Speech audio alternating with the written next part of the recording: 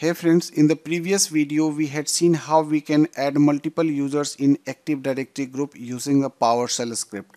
Now in this video we will see how we can remove multiple users from Active Directory group using a PowerShell script.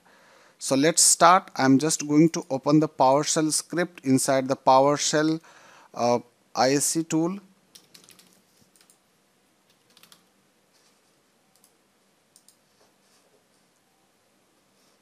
now I will go on the file and then uh, this is the name of the PowerShell script that I just created.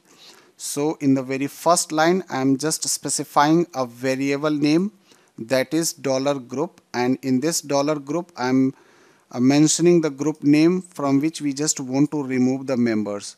So you need to just replace the group name uh, whatever that you have specified in your Active Directory group and you want to remove the members so you have to specify the group name. And in the second variable that is dollar users. In this dollar users I am just using a PowerShell command that is import dash CSV and dash path so this is the path where I just specified a CSV file and in this CSV file all the users which are the members of this group is specified.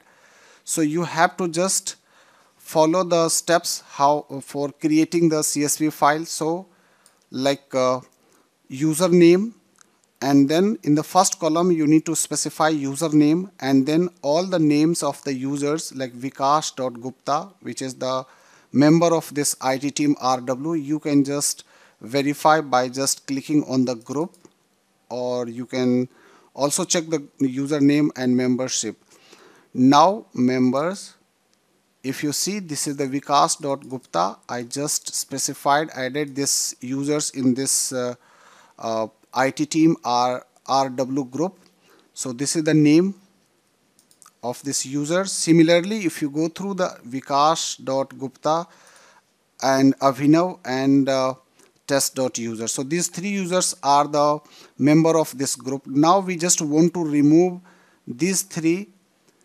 So what I need to do, I need to just specify these all users in the CSV file. Next, for each loop. So this is the for each loop and in this for each loop, I'm using a new variable that is dollar user and then dollar user. So so the values of the users variable will also comes inside the dollar user here.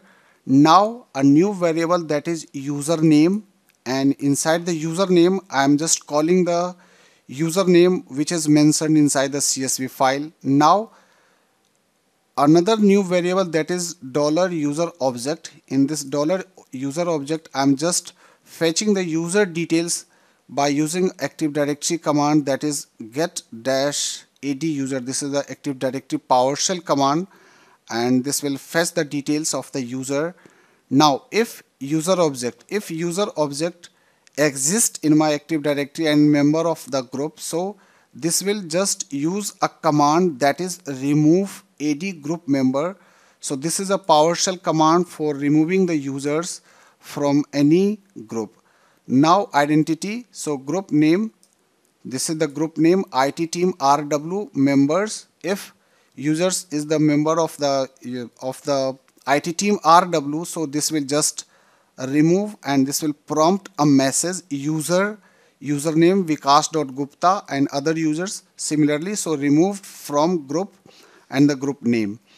Else if user does not exist or not the part of this uh, group so this will prompt a message user username not found now I'm just going to execute this PowerShell script.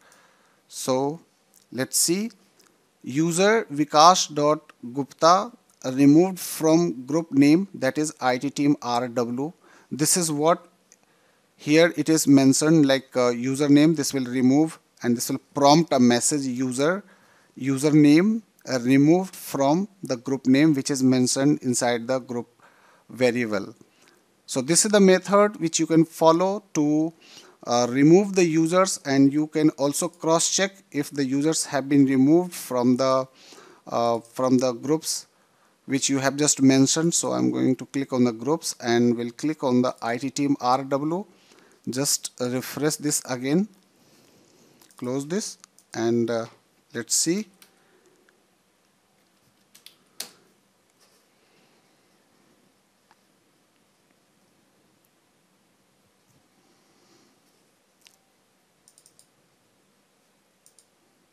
so these all user all three users have been removed from this uh, IT team RW groups so this is the methods which you need to just follow to removing this group membership.